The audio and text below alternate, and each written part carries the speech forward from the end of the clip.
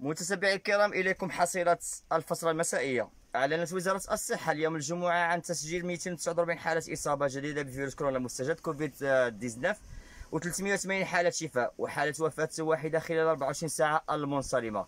واوضحت رئيسة مصلحه الأمراض الوبائية بمديرية علم الأوبئة بمكافحة الامراض بالوزارة هند الزين في تصريح صحفي أن الحصيلة الجديدة رفعت العدد الإجمالي لحالة الإصابة المؤكدة بالمملكة إلى 15328 حالة منذ الإعلان عن أول حالة في جوج مارس الماضي ومجموع حالات الشفاء التام إلى 11827 حالة بنسبة تعافي تبلغ 77%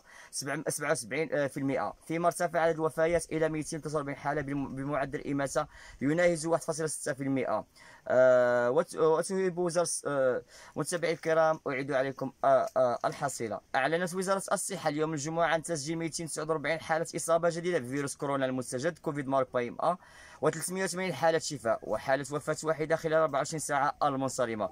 وأوضحت رئيسة مصلحة الأمراض الوبائية بمديرية علم الأوبئة ومكافحة الأمراض بالوزارة هند الزين في تصريح صحفي أن الحصيلة الجديدة رفعت العدد الإجمالي لحالة الإصابة المؤكدة بالمملكة إلى 15328 حالة منذ الإعلان عن أول حالة في جوج مارس الماضي.